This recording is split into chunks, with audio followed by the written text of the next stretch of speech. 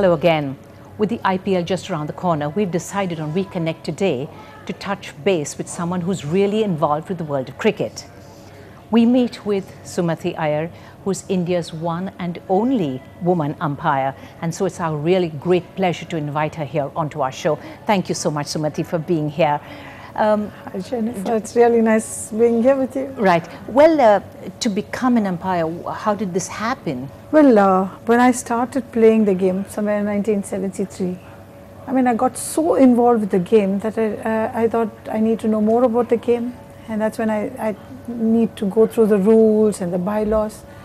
And probably it was my coach, Mr. Dharmalingam, who found that I had such keen interest in the game and I had good knowledge about the game also. And he found that uh, I could go and actually appear for this exam. Right, but uh, seven years into your cricketing career, you actually took up being an umpire.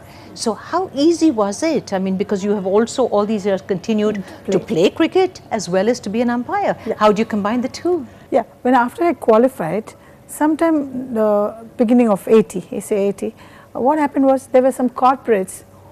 My own coach who was working for a company, he wanted me to umpire the inter-corporate matches. That's how my, uh, you know, my involvement in umpiring started. It is later that I got to be recognized and started umpiring women's cricket matches. Right. How? The games where Tamil Nadu did not qualify, only those games I would I could umpire. Otherwise, I was playing. Right. Yes. So, in case any tournament, any championship, if we didn't qualify, Yes, I was there umpiring the games. Right. Then I was also doing juniors, sub-juniors and uh, other level, interzonals, nationals.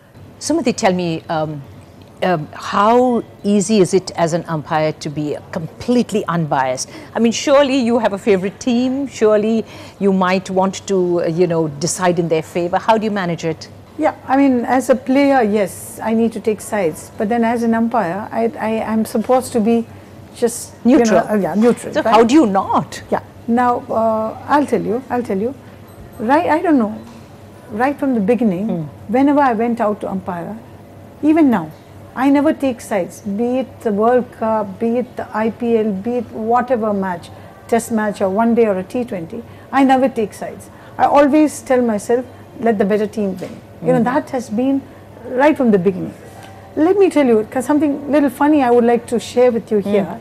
Mm. You said it a little earlier, my uh, playing career and my umpiring career almost ran parallel for two decades. Absolutely. Yes. Mm. So there was little little funny things which I like to share with you here. Go ahead, please. Right? Well, as a player, you're supposed to run into the ball, right? But as an umpire, you're supposed to move away from the oh, ball. Okay. The ball is hit to you. You're right. right yes. So it's the same thing. And as a, I don't know, I hold the world record for the highest number of catches, and I firmly believe anything in the air is a catch.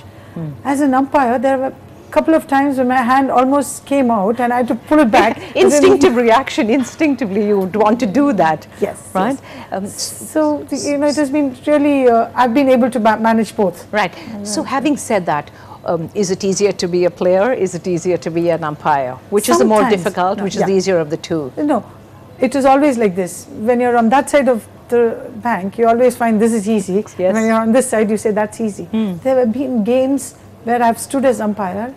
I feel, you know, really bad. Had I been a player, such a thing would not have happened. Mm. Be it the performance, be it the behavior of the player. And as a player, there have been times when I feel no, never will I want to be an umpire like that person. Right. Mm -hmm. Umpiring is not a joke, uh, uh, Jeniffer. Not many people, uh, I don't know, as uh, women, you, uh, you said, yes. not many people have taken up to umpiring. It's a tough proposition. Yes. You In fact, I'm sorry to interrupt you. That's exactly my next point. Why is there only one woman umpire in our country? What's the problem? What's the reason for this? I'll tell you, when we started playing, we, we never thought about the day when we'll be hanging up our boots, mm. right? Because those days there was no money, there was nothing, and we all played the game for love of the game, passion. Right.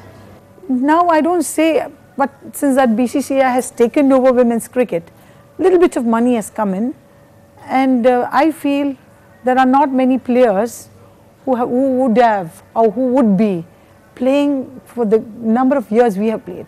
We have played for three decades. I don't think you will find players ever in the coming years who would be playing the game for that long. But what's the reason for that? Is there a lack of passion? Is there a lack of interest?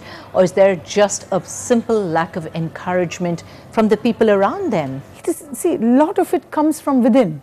Indeed. Okay, I mean, those days we could uh, stand up and say, yes, you know, even if it, there's no marriage, yes, we go ahead.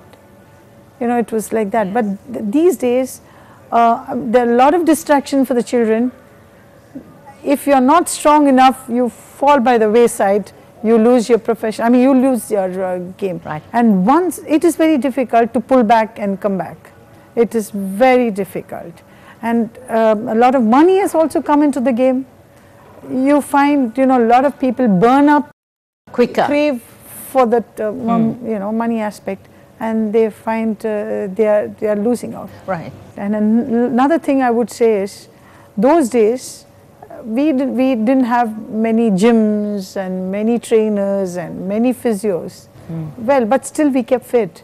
But these days so much of importance is given to gym so much of importance is given to training and you know the physio a lot of people i find the injury is much more than what it was then or probably we handled our injury much better than what is being happening now because uh, i find a lot of players again going falling out because of injury Right.